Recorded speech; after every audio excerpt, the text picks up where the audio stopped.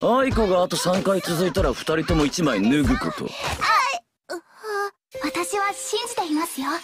我がライバルであり友人でもあるあなたはあんな言葉に惑わされたりしないと。私もあなたを信じてる。聞くわよ。愛子です。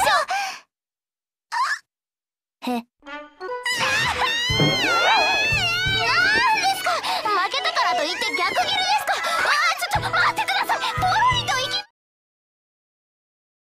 じゃんけんで。私こんな時はじゃんけんで決めた方がいいと思うの。俺じゃんけんで負けたことねえから。ブレッシングあーこいつ来たね。